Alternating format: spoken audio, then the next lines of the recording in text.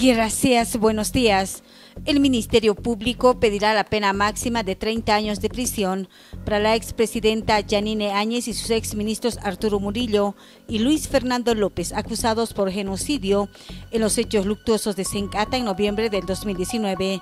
El fiscal superior de la Fiscalía General, Sergio Fajardo, informó que el juicio oral comenzará el 2 de septiembre de forma virtual. Ustedes recordarán que en fecha 23 de octubre del año pasado,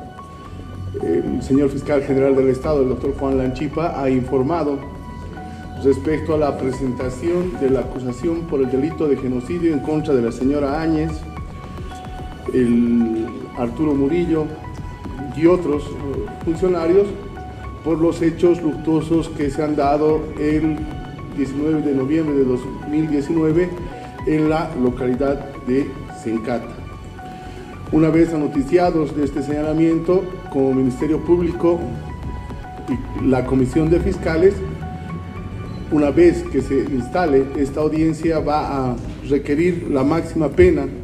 toda vez de que se ha acreditado a través de la prueba documental presentada junto a la acusación la existencia del hecho.